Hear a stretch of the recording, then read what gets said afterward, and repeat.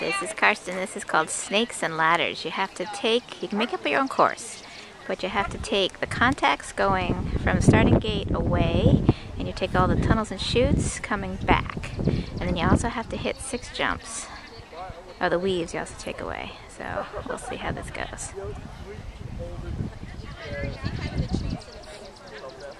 Go, Monica, you're gonna lose them.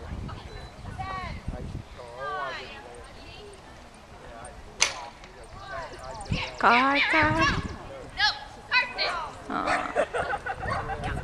So she touched the contact in the wrong direction. So she's NQ'd, but we're gonna finish the course. That was awesome for her. She's giving up. She's not running fast.